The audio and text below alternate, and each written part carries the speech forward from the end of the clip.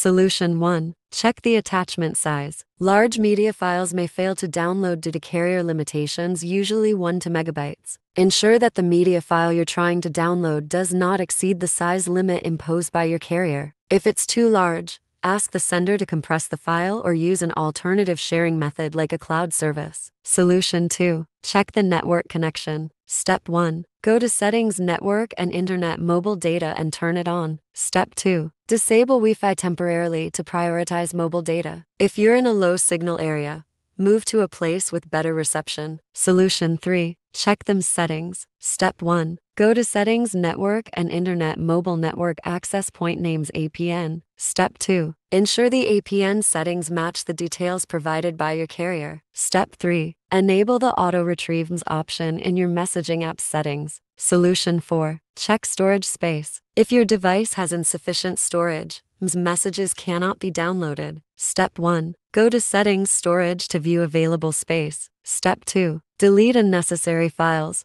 photos, and apps to free up space. Solution 5. Clear cache and data. The messaging app's cache can become corrupted, leading to Android's messages not downloading. Step 1. Go to Settings Apps Messaging App Storage Clear Cache. Step 2. If the issue persists, select Clear Data. Solution 6. Restart your phone. Step 1. Hold down the power button until the restart option appears. Step 2. Tap Restart and wait for the device to reboot. Check if MMS can be downloaded after restarting. Solution 7. Factory reset your phone. However, please note that this operation will delete all data on your phone, so please back up your Android phone before performing this action. Step 1. Go to Settings and choose System. Step 2. Hit the Reset option and select Factory Data Reset. Solution 8. Use a professional tool Android Repair. Step 1. Visit the official website. Download and install the tool on your computer. Step 2. Choose the repair feature and select Android Repair. Then,